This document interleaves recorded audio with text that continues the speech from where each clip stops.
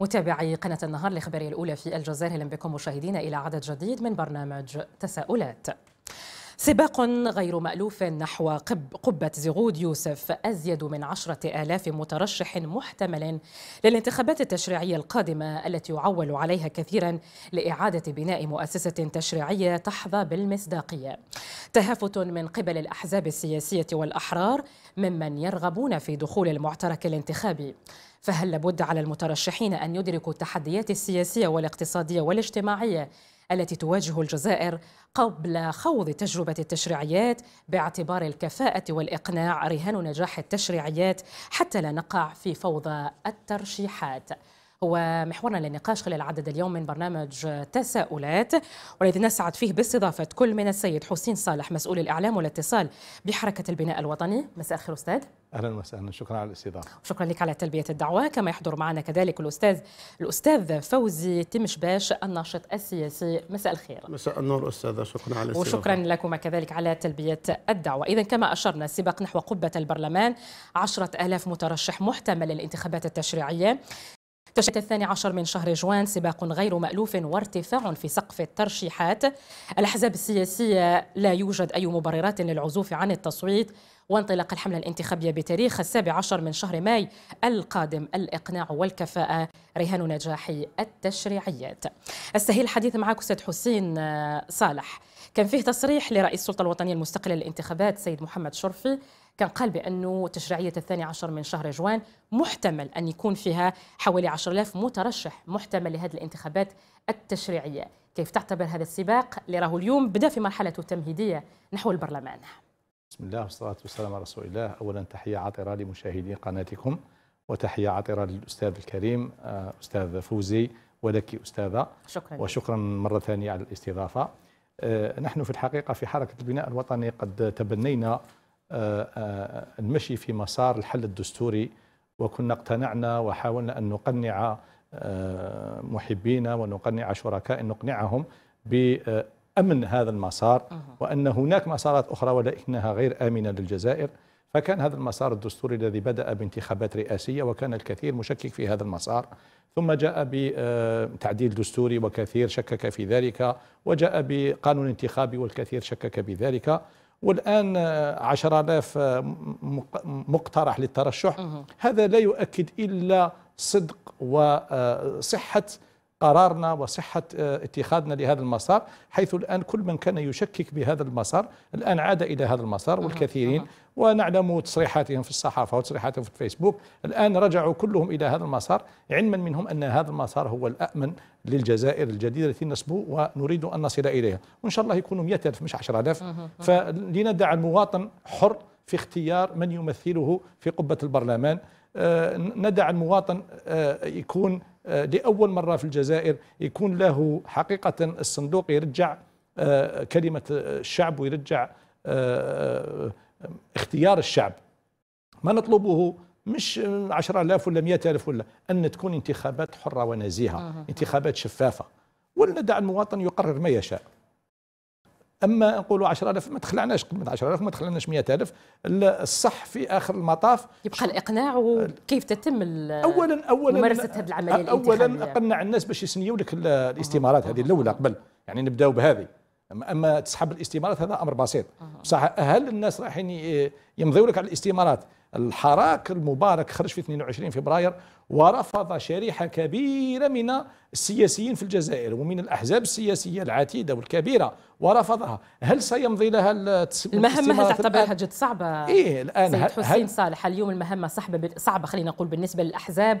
السياسية وكذا بالنسبة للأحرار ولعل على الحزب السياسي راح تكون مهمة جد صعبة لأنه المواطن خلينا نقول بين قوسين طلق السياسة ما كانش عنده ثقة للحزب السياسي نظرا لممارسات التي كانت في السابق. هو لا يجب أن نستخف بذكاء المواطن الجزائري. المواطن الجزائري والشعب الجزائري ذكي جدا ويعرف كل حقبة ما كان يحاك فيها وكيف كانت تدار هذه الحقبة.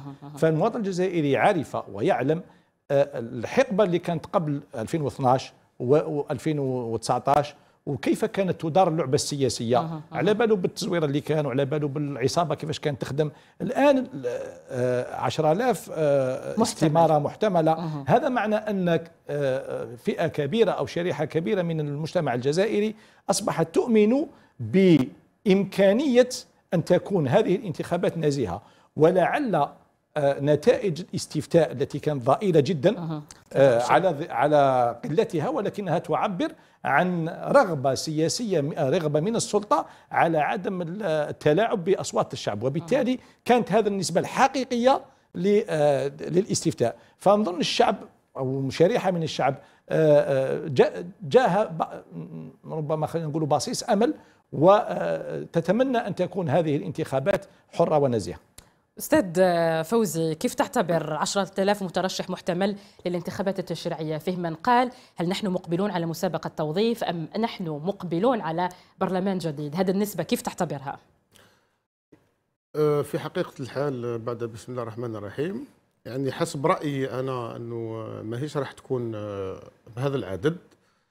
أه، نظرا لأنه ما لاحظناش في مواقع التواصل الاجتماعي آه، قوائم حرة أو مترشحين في أحزاب آه، قال صوروا الازدحام على شبابيك البلديات يعني في الحالة المدنية قال هم المحبين تاوعنا أو المناضلين تاوعنا راهم آه، راهم مدارين الطوابير باش يصادقوا الاستمارات. الاستمارات. أظن أنه نفس المشكل في الرئاسيات السابقة يعني لاحظنا الكثير من المترشحين ولكن أخيرا خمسة فقط من استطاعوا أن يستوفوا شرط جمع التوقيعات. آه، هنا آه، أريد أن أطرح سؤال. المشكل يكمن في هل المواطن الجزائري مستعد على أن يتبع برنامج لمترشح؟ أو سيتبع المترشح بحد ذاته وبخلفيته سواء في حالته الاجتماعية أو منطقة العرش. آه، هنا يكمن السؤال والإشكالية. بمعنى الإقناع أظن السيد فوزي هنا تقصد أكيد الإقناع أكيد. كيف بإمكان لا اليوم؟ ليس الإقناع. المواطن الجزائري على أساس ماذا؟ سوف يؤيد هذا المرشح. هل كونه يملك برنامج؟ لأنه لاحظت العديد من من المترشحين الأحرار يعلنون فقط أنهم سيخوضون معترك الانتخابات التشريعية بينما يفتقرون في طرح برامجهم. لأنه المنبر الوحيد للقائمة الحرة. هنا الإشكالية لما نقول كما تقول 10000 قلت عادي يعني بالنسبة لهذا الرقم ممكن أنه يعتبر حتى الأستاذ حسين قال ممكن 10000 وممكن أكثر من ذلك. 10000 قائمة وليست نعم أنا بالنسبة لهذه الانتخابات أنا حسب يعني خبرتي المتواضعة أتوقع أتوقع يعني 25 حزب اللي راح يقدر يستوفي شرط جمع التوقيعات. بالنسبة للقوائم الحرة على ما أظن على ما أظن يعني يستحيل أن أنها تفوت 400 قائمة على المستوى الوطني يعني في في في 58 ولاية. لماذا؟ لأنه 10000 10000 قائمة كي تقسميها على 58 ولاية راهي 170 قائمة في كل ولاية هذا يعني ماهوش منطق ممكن راهي مقسومة على بعض الولايات اللي فيها هيئة ناخبة يعني آه، آه، مثل العاصمه قسنطينة عنابة ممكن هذه ممكن فيها يعني سحب آه، الاستمارات التوقيع بينما طيب. الولايات الداخلية أو الجنوبية لا أستبعد أنها راح تكون بال طيب سيد فوزي بالحديث عن ال 10000 محتمل أو خلينا نقول 10000 مترشح محتمل للانتخابات التشريعية فيه من قال بأنه راح نكون أمام عدد هائل وبهذا بالنظر للنظام الانتخابي اليوم اللي يسمح لكل مواطن خلينا نقول آه، يمتلك من المؤهلات أن يترشح لهذه الانتخابات التشريعية. فيه من قال ممكن أننا راح نكون أمام فوضى آه، ترشيحات لأنه من المفروض أنه أي راغب اليوم باش يترشح للانتخابات التشريعية أن يكون يدرك للعمل السياسي العمل التشريعي في البرلمان مش ولا فقط أن يترشح حتى يفوز بمقعد في البرلمان. هل هذا الأمر كذلك راه اليوم يثار ويطرح العديد من التساؤلات حوله؟ ليس كل من هب ودب بإمكانه اليوم أن يترشح لهذه الانتخابات التشريعية ونحن نريد برلمان يتميز بالمصداقية تكون مؤسسة تشريعية تحظى بالمصداقية من قبل المواطن الجزائري حتى نمحي الصورة اللي كانت عليه في السابق.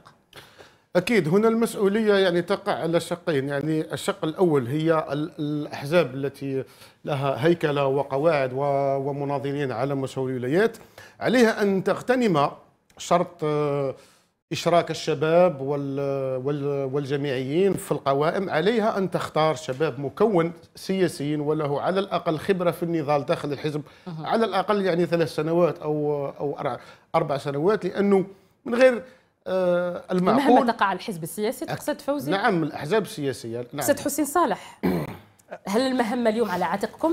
نحن, نحن لضمان مصداقية البرلمان القادم؟ نحن كنا عملنا اقتراح آه، في الحقيقة عندما رأينا الكم الهائل الذي آه، من المترشحين اللي جاوا في في الرئاسيات والذين استخرجوا استمارات الاستمارات هذه اللي الذين استخرجوها راهي طبعت بأموال الشعب وبالتالي كنا درنا اقتراح أن كل من يريد الترشح يدفع une caution كيفاش نقولوا une caution بالعربية؟ ضمان. آه يدفع ضمان ولا؟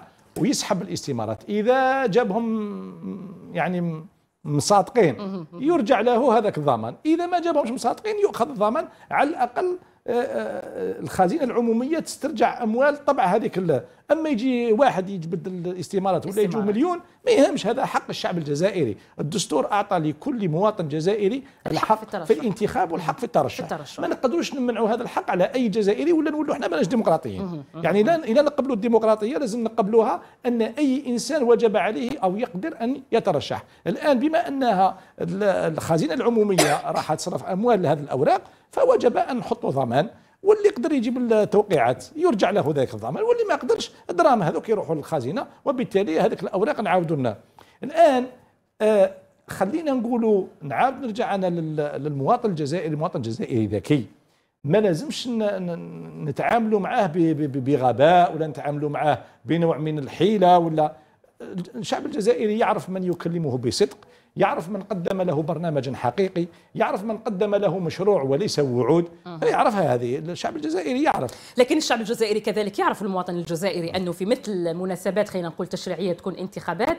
خلينا نقول الحزب السياسي وأيا كان ترشح راه يغازل اليوم الشعب الجزائري ويقول له راح نعمل كذا ونعمل كذا ونحن إيه؟ مقبلون على حملة انتخابية بتاريخ 17 ماي. نعم. فيه من يقول أنه بالنظر للقانون الجديد فيه ضوابط لهذه الحملة الانتخابية. لكن الأمر مش ممكن أنه يتعدى أنه اليوم الحزب السياسي قدم وعود نعم. للناخب الجزائري يقول راح نعمل كذا والاستثمار في المشاكل الاجتماعية للمواطن وفي الأخير ما يلقى ولا شيء. أنا راني معاك. المراقب السياسي والمواطن الجزائري راهو يراقب في كل الخارطة السياسية ويراقب في القاعدة السياسية والقاعدة الحزبية. راه يشوف شكون هي الأحزاب اللي راهي تناضل على طول العام وشكون هي الأحزاب اللي راهي دايرة registre commerce فقط تجي من خمس سنين لخمس سنين ولا من ربع سنين لربع سنين تقدم آه، مترشحين فالشعب الجزائري راه يتبع في الساحة السياسية. ما نظنوش الشعب الجزائري ماهوش يتبع. صح راه عنده مشاكل عنده مشاكل اقتصادية مشاكل اجتماعية مشاكل عائلية كاينة. ولكن كي يجي يراقب الحياة السياسية راه يراقب. راهو يعرف من هي الأحزاب التي تناضل على طول السنة ماشي غير في الاستحقاقات الانتخابية. الانتخابية صحيح. وكاين الأحزاب اللي راهي registre commerce. نشوفوها تطلع علينا كما يطلع هلال تاع رمضان. وما جاي مره في العام يطلع مره في الخمس سنين. كي تجي كاش انتخابات يبانوا c'est des registres commerce. شحال كاين؟ 70 حزب ولا شحال؟ شحال المواطن لو كان نسقسوه ما هي الأحزاب اللي تعرفها يقولهم منا. يعني راهي مجموعة من الأحزاب ما يعرفش حتى الأسم نتاعها. فهذا هو هذا هو بيت القصيد. العصابة كانت دايرة هذه الأحزاب كانت تخدم بها. دايرتها تنشط بها وتعاون بها وتنجح بها العملية الانتخابية تاعها. الآن والعصابة ذهبت ما عادش عندها هياكل تخدم بها ما عادش عندها أحزاب توظفها. الآن أظن ونتمناو ذلك المنافسة راهي منافسة نازهه الآن الأحزاب اللي عندها مشروع راح تبان الأحزاب اللي تقدم ناس نزهاء راح تبان الأحزاب اللي عندها برامج تنموية محلية راح تبان. تبان في خطابها تبان في برامجها تبان في سياستها هذه راح تبان. والمواطن الجزائري راه يتبع ويراقب. نعود الفكرة أو نمر الآن الفكرة جد مهمة فوزي تمشماش اليوم لما نتحدث عن التشريعيات شفنا آه، شباب الحظية خلينا نقول باهتمام كبير ضمن هذه الانتخابات التشريعية. فيه من يقول بأنه هناك بعض من الأحزاب السياسية أصبحت اليوم تستغل هذا الشباب حتى وإن كان هذا الشاب آه، ما يمتلكش تكوين ما يمتلكش تأهيل المهم تقول بأنه اليوم لدي شباب هم متواجدين وهذا دليل على التشبيب اللي راه يكون ضمن هذه الأحزاب السياسية. كيف تعتبر هذه الجزئية؟ حتى ما نوقعوش فيها. آه، سيدتي الفاضلة آه، يعني أود التأكيد يعني أو التوضيح على يعني موضوع تواجد الشباب في القوائم سواء كانت حرة. أو حزبية. تحت غطاء حزبية. هو الفضل يرجع إلى السيد رئيس الجمهورية الذي دستر وحمى هذا الشرط وهو مجسد في القانون العضوي للانتخابات. يعني هذا الشرط راهو إجباري وليس اختياري سواء يعني للأحزاب أو القوائم الحرة. لكي آه، إن إن صح القول آه، من له الحق أن يشكر أو أو أو يتم تثمين هذا هذا الإنجاز. هو السيد رئيس الجمهورية. هذا من جهة. يعني أود أن أكمل الشق الثاني آه، سابقا يعني أشرت إلى الأحزاب. بالنسبة للقوائم الحرة عليها عليها أن تغتنم هذه الفرصة والاستثمار في هذا القانون العضوي الذي يعتبر بوابة الدخول إلى الجزائر الجديدة. والقاطعة مع ممارسات الماضي لأنه لاحظنا خطاب الرئيس اليوم على لسان السيد الوزير الأول أن الرئيس دعا إلى القاطعة مع جميع الممارسات سواء كانت في المجال الانتخابي أو في الحياة اليومية تجاه المواطنين أو في أو في الإدارة. على على القوائم الحرة أن تتبنى تجسيد شرح البرامج على الأشخاص. لأنه آه، إذا راح القوائم الحرة تتبع نفس الممارسات لبعض يعني الأحزاب اللي أشار عليها السيد يعني احزاب ال registre commerce يعني اللي تبان من مناسبة لمناسبة لأنه الأحزاب العريقة عندها الهيكل نتاعها عندها مناضلين القاعدة الشعبية نتاعها معروفة. ما نقدرش نقولوا قاعدة شعبية لأنه كل واحد راهو يسال فيها طرف. آه نتيجة الصندوق هي هي هي, هي الوحيدة التي من حقها ان أن تقول أن الأغلبية للحزب الفلاني أو أو الآخر.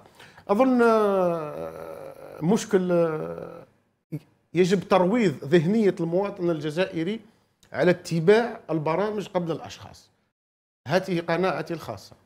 بمعنى البرامج حزبية أو ماذا؟ ماذا تقصد يعني بالبرنامج؟ البرنامج إذا كان الحزب يقدم برنامج أنا أتحدث سياسي. عن القوائم الحرة لأن البرامج الحزبية لديها برامج ثابتة.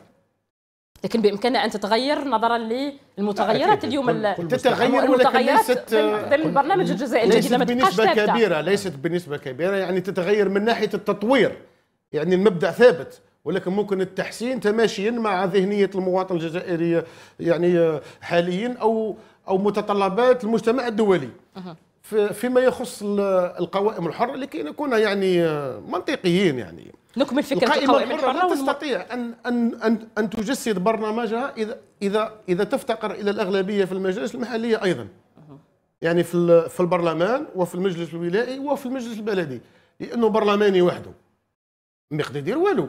ما يقدرش يضغط لا على قرار قال من ناحية التصويت في البرلمان. يعني باش نكونوا يعني صراحة لازم هذاك المرشح الحر. ما ينافقش وما وما يتحيلش على على المواطن الجزائري. بغية استقطاب الأصوات. بالنسبة للأحزاب؟ خلينا نعود لفكرة الشباب لأن فكرة مم. جد مهمة. مم. اليوم حظية خلينا نقول بجزئية جد مهمة ضمن هذه الانتخابات التشريعية المقبلة. فيه من يقول أن بعض الأحزاب السياسية أصبحت اليوم تستغل هذا الشباب حتى يكون في الواجهة فقط. لا أظن ذلك لأنه أغلب الأحزاب يعني لديها تشبع يعني في الطاقات البشرية يعني من من من حيث الشباب أو الشابات أو الجامعيين أو في جميع المجالات. ممكن آه، الأحزاب التي لم تستطع التأثير على المواطن الجزائري ممكن راح يعني تواجه صعوبة في بمعنى توجد الفكرة الفكرة مطروحة أنه حزب سياسي ممكن أنه يكون في ضمن ضمن تشكيل مجموعة من الشباب كأنه يكون يحط هذا الشباب في الواجهة دون أي تأهيل مفروضة دون أي تأهيل وتكوين سياسي بالدرجة الأولى لأنه نتحدث عن معترك سياسي لابد يكون فيه نوع من الدرايه خلينا نقول السياسيه لهذا الشاب. أكيد أكيد. يعني وهذا راهو بحكم القانون ليس يعني من رأي أو من رأي الق... أو من رأي الأحزاب لأنه القانون العضوي واضح وحدد الثلث من الشباب يعني لازم يكون جامعي والثلث الآخر لازم يكون أقل من 40 سنة مع المناصفة بين العنصر النسبي والرجال يعني 50% 50% هذه يعني أمور ضبطها القانون العضوي للانتخابات يعني واحد ما يقدر يمنع على الآخر يقول باللي راني اعطيت أعطيتك أفضلية أو هو لازم لازم نفهموا أن طريقة سير الانتخابات الآن مش راح تكون كسابقاتها. سابقاتها كانت القائمة المغلوقة والقائمة المغلوقة آه، تعطي أفضلية لرأس القائمة ثم الذي يليه ثم الذي يليه. الآن القائمة المفتوحة وهذا اللي كان مقتراح حركة البناء الوطني أن تكون قائمة مفتوحة. كل رقم في القائمة رقم صعب. يعني كل اسم في القائمة هو اللي راح يجيب الأصوات نتاعو. وبالتالي حقيقة وش تقول الأستاذة؟ صحيح ممكن بعض الأحزاب ولا بعض القوائم الحرة راح تحاول تستغل الشباب تستعطفوا باش يكون معاه في القائمة. هذه النقطة اللي حبيت ولكن الشباب ذكي شباب ذكي جدا شبابنا متعلم شبابنا مثقف شبابنا راهو كله جامعي. 70% من الشعب الجزائري راهو شباب. اذا قلنا شباب حتى 40 سنة راهو يفوت 70% فهذا الشباب راهو واعي وراهو عارف.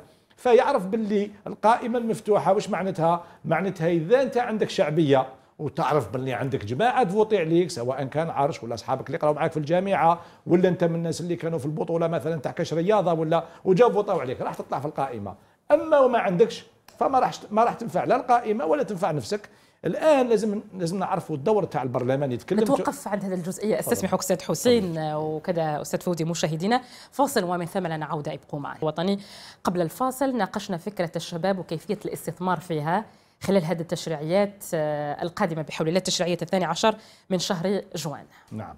خليني نتكلم في جانب الشباب. إحنا في حركة البناء الوطني عندنا عندنا ما نسميه بالشباب آه، القيادي أو التأهيل القيادي حيث كونا عبر السنوات هذه اللي, فاتت كونا أكثر من ألف شاب سواء في الشرق الجزائري أو الغرب أو الجنوب أو الشمال مجموعة شبان كوناهم في مهارات مختلفة آه، علما منا وقناعة منا أن آه، المستقبل لهذا الشباب. فممكن آه، كاين أحزاب أخرى راهي تنحو هذا المنحى فالأحزاب اللي اللي راهي عندها برامج واللي تصبو إلى المستقبل على بالها بالمستقبل تاع الجزائر الجديدة مستقبل شباني اولا قبل كل شيء. بدافع التشبيب وليس الاستثمار. لا لا لا, لا بدافع التشبيب لأن هذا الشباب المستقبل له. يعني كاين طبقة سياسية رانا نشوفوها خلاص جوزت ما عليها. مرحلة. وكان الأستاذ عبد القادر بن قرينة كان تكلم على الشرعية الثورية. حقيقة أجدادنا وآبائنا لهم هذا الشرعية أنهم قاموا بالثورة وأنهم فهذا فضلهم علينا. أما الآن جيل الاستقلال وجب عليه أن يبني جزائره بيده. إحنا هذا الشباب رانا عارفين باللي الجزائر راح ترجع ليه ولازم ترجع ليه فأهلناه في مهارات مختلفة ولا نزال نفعل ذلك. الكورونا منعتنا ولكن رانا نخدموا بالزوم. ف باش نرجع فقط لدور البرلماني باش الشاب يعرف دور البرلماني ليس ليس دور المنتخب المحلي. المنتخب في المجلس الشعبي الوطني هو منتخب أكيد راح يخرج من ولايتك ولكن راح يمثل الوطن. يعني راح يجاهد ويحارب ويناضل على آه، أمور سياسية أو أمور آه، قانونية تهم الوطن ككل ولا تهم ولايته. هو أكيد راح يراقب الولاية نتاعو ويراقب التنمية المحلية في ولايته ولكن دوره أكبر من ذلك. دوره التشريع. دوره المراقبة دوره مساءلة الحكومة. وربما دوره إذا كان في الأغلبية أنه يكون في الحكومة ويكون وزير. وهذا لابد أنه من بين المترشحين ذوي الكفاءة جيد. العالية لأنه يكون قادر على كل هذا الأمور. في ضمن النظام التشريعي مش فقط أنه اليوم راني نرغب في مقعد في البرلمان إيه؟ من أجل مبلغ مالي معين. نعم. حتى أصل إلى هذا البرلمان لأنه هذا هو العنصر الأساسي. أن نصل إلى برلمان يتميز بالكفاءة. نعم أكيد. ولكن آه، الكفاءة وحدها ممكن ما تكفيش. ممكن تصيبي إنسان كفء في ولاية ولكن ما عنده الشعبية. ممكن تصيبي أستاذ جامعي ولكن الطلبة اللي يقراو عنده كارهين ولو كان تقدميه للقائمة ما يفوتوش عليه الطلبة اللي يقراو عنده. صحيح صحيح. فيعني الأمر الأمر نسبي ما نقدروش نتكلموا هكذا en absolu يعني في المطلق كلامك صحيح. في المطلق أكيد لازم تكون كفاءات. ولكن في الواقع الأمر ولكن يعني ممكن تصيب ممكن تصيب ممكن تصيب شوفور تاع بيس شوفور تاع ولا تصيب إسكافي ولا تصيب عنده شعبية تصيب حفاف عنده شعبية. ما ما هذا فالآن الشعب حر في من يختاره. يختار اللي راح يدافع عليه يختار اللي راح يتكلم على انشغالاته يختار اللي راح آه، يتكلم على معاناته. هذا واش راح يختار الشعب؟ تفضل فوزي عندك سؤال الاستاذ حسين؟ ختاما بالمعاناة. أنتم الآن كحزب أو جميع الأحزاب يعني نعم. يحاول أنه يستقطب أو أو يفوز بتأييد آه، المواطن للتصويت عليه للفوز بمقاعد في البرلمان صحيح دور البرلمان التشريع والدس وال والمراقبة والمساءلة والمتابعة ولكن الأغلبية في البرلمان تشكل حكومة أو لا؟ نعم وأنتم خلال الحملة الانتخابية مثلا تستقطبون أصوات المواطنين على أساس تجسيد برنامج نعم. الحملة. نعم. هل صارحتم المواطن الجزائري المدة التي يقتضيها تطبيق هذا البرنامج في حال ما إذا كانت لكم أغلبية في البرلمان أم لا؟ على المواطن أن يعي. وهذا السؤال موجه إلى جميع الأحزاب. ليس يعني إليكم فقط. يجب أن آه، يعني في في ظل هذا القانون العضوي للانتخابات الجديد أن تصارح الأحزاب المواطن الجزائري بالمدة الزمنية لتجسيد برامجها التي وعدوا بها المواطن خلال الحمله الانتخابيه يعني من غير المعقول القضاء على مشكل السكن أو أو الأجر القاعدي للموظفين يعني في سنة أو أو سنتين. يعني أنت تعلم تركه التركة التي ورثها السيد الرئيس يعني تاع 20 سنة من المستحيل أنها أنها تطبق أو تعالج في فترة زمنية تاع سنة أو سنتين. بارك الله فيك. إيه نعم حقيقة. هو أي حزب يحترم نفسه وجب عليه أن يكون عنده برنامج. وكي نتكلموا على برنامج البرامج آه، غالبا تكون محددة بزمن. نحن عندما تقدم الأستاذ عبد القادر بن إلى رئاسيات 2019 قدمنا هذا البرنامج وهذاك البرنامج كان تاع خمس سنين. فيه أمور من هذا البرنامج الحمد لله الحكومة الحالية راهي تقوم بها يعني فيه أفكار كثيرة تتجسد في الميدان الحمد لله. إحنا يهمنا أن البرنامج يجسد من يجسده إحنا ولا غيرنا ما يهمناش. ولذلك الأفكار تاعنا راهي صدقة جارية علينا. كي نقدموا أفكار ونقدموا برنامج ونقدموا برامج راهي راهي أفكار وراهي صدقة جارية على حركتنا وعلى أعضاء حركتنا وعلى الشيوخ نتاع حركتنا ربي يرحمهم. وبالتالي آه، الحمد لله من هذا المجال نحن برامجنا واضحة. الآن هذاك البرنامج أكيد ربما كان برنامج وطني. بصح كي نجوا الآن الولايات ما يقدرش يكون هذاك البرنامج كله يعاود يرجع الولايات.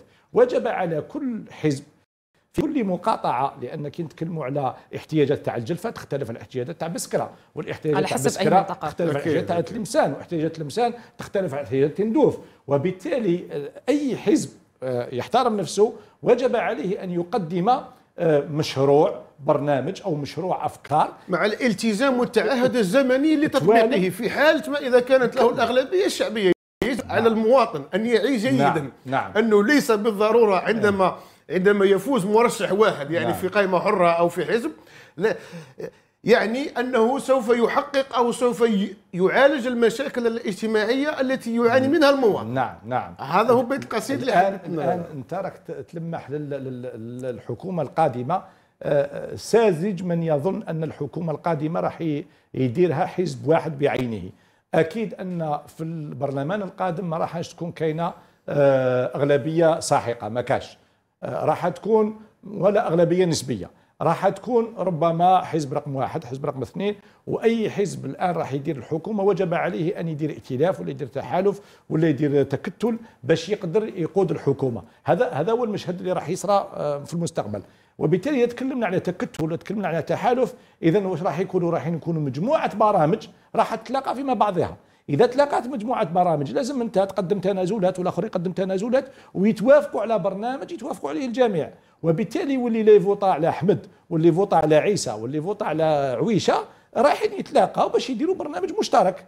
فهذا هو اللي راح يصرى هكذا. يعني مش ما نظنوش باللي راح تكون أغلبية كما كانت من قبل لأن من قبل باين كاش كانت تصرى الأمور يعبيو في الصندوق ويطلعوا شكون حبوا وباين الحزب اللي يطلع. ولكن ما يمنع أنت ما يمنع الأحزاب المنافسة أن تتجند يعني بمناضليها على مستوى المكاتب البلدية اللي تراقب صناديق الانتخابات واستلام محاضر الفرز. إيه إيه كي تراقب الآن وش يعني الواحد مش يبني السكن نتاعو واحد ما يديرهاش هذاك الباروداج ومن بعد يقول لك سرقوني. إيه واحد. راك داخل أنت الانتخابات يا خويا روح تجند. ما اختلفناش. جند حط مراقبين ما اختلفناش ما اختلفناش. إيه؟ أنا نقول لك بهذه السيرورة ما راحش تكون كاينة آه، أغلبية آه، يعني مطلقة لأي حزب في البرلمان المقبل. هذه ديها ديها من عندي. مش حتكون أغلبية مطلقة لأي حزب. طيب أستاذ حسين في اعتقادك ما هو رهان نجاح تشريعية 2012 بالنظر لكل المعطيات سواء اللي جات في قانون الانتخابات والآن بما هو سار على الساحة حاليا؟ مجموعة مجموعة شروط وجب أن تكون. الشرط الأول هو أن تكون حقيقة une volonté يعني إرادة. إرادة سياسية في إنجاح العملية الانتخابية. يعني في نزاهتها وشفافيتها. هذا هذا الشرط الأول. هذا إرادة متوفرة وجب أن إن شاء الله خلينا وهي نشوفه. مجسدة في القانون العضوي للانتخابات. يا السلطة يا الوطنية يا أستاذ فوزي فرق السلطة بين الوطنية والممارسات. فرق بين السلطة الوطنية للانتخابات. نعم. أول مرة منذ الاستقلال. م. تعلن في في إعلان على موقع ال ال الإلكتروني الخاص بها. أن المؤطرين الذين يشرفون على تسيير المراكز الانتخابية والمكاتب يجب أن تتوفر فيهم شرطين. الشرط الأول هو أنه ما يكونش متحزب أو ترشح في حزب خلال فترة الخمس سنوات الماضية. والتسجيل يكون الكترونيا. يعني لو كان الإرادة السياسية نتاع النظام السيد الرئيس كان يعني عنده نية الاستحواذ على على على العملية السياسية في الجزائر. ما كانش سحب العملية الانتخابية من وزارة الداخلية وانشا آه، السلطة الوطنية لمراقبة الانتخابات اشرافا ومراقبة واعلانا يعني لازم نثمنوا يعني كي نقولوا اذا توفرت الإرادة السياسية. يا فوزي من فمك الربي. لا فمك أنا نشوف فيها باللي, إيه باللي الاراده السياسيه كاينة وأنا نقول لك الباقية الباقية هي التشكيلات السياسيه الإرادة السياسية ستتجسد يوم 12 جوان. إن شاء الله بالمشاركة وبنوعية المش... المترشحين في القواعد كي نشوفوا لا لا لا مش هذا هو مش هذا هو المعيار. المعيار هو لا فولونتي كيفاش قلنا؟ الإرادة. الإرادة السياسية الإرادة متوفرة. في إنجاح العملية الانتخابية. لأن حنايا رانا أنا راني ممكن بالك شايب شوية عليك. عندي 30 سنة نضال سياسي. آه، أكبر حزب في الجزائر هو حزب الإدارة. اللي كان يوجه الانتخابات وين يحبوا. سابقا إيه سابقا. ولا حاليا الآن اذا ما دخلتش هذه الإدارة.